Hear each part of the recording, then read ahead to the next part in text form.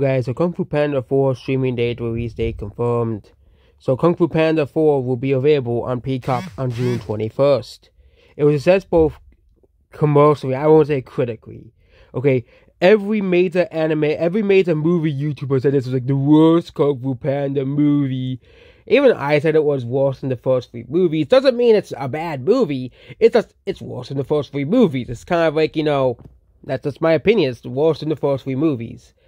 I, I will not rank this movie higher than the first three movies, but I did like the characters. I did like the story a little bit.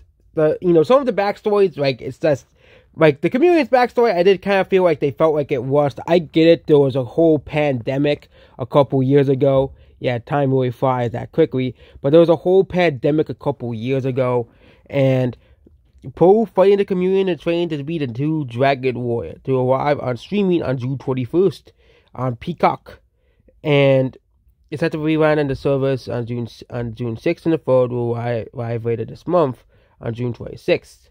So all the movies, apparently the whole movie or oh, Kung Fu Panda one through three are not on Peacock. That's strange. So why, haven't they done that? Considering that DreamWorks works with a Universal, but yeah, Kung Fu Panda 4 has been a massive success domestically and foreign. So it is not as successful as the first two Kung Fu Panda movies, obviously but critically, it has been the lowest rated of the three of the four movies.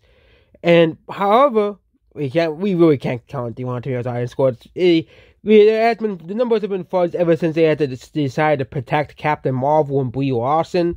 So yeah, and yeah, Kung Fu Panda Five is also being created as well. So yeah, that's about this about the Kung Fu Panda 4 streaming release date confirmed. And likely will not be getting much news about Kung Fu Panda probably for a while. So yeah, that's about this video here. Goodbye.